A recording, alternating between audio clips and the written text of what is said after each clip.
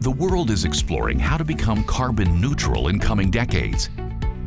Modern offshore wind farms are one of the key pillars of sustainable green energy production for the future.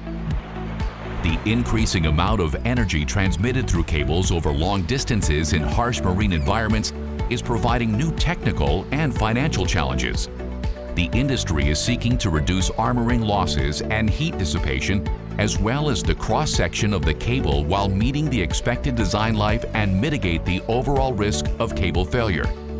To cope with these challenges, Bekaert has developed a non-magnetic galvanized stainless steel armoring wire, which eliminates the armoring losses.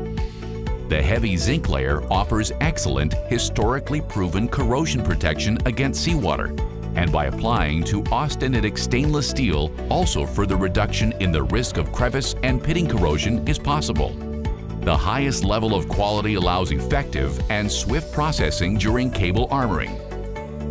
This makes Bezinox armoring wire an ideal solution for all your submarine power cables. For more information, visit www.bekaert.com slash Bezinox.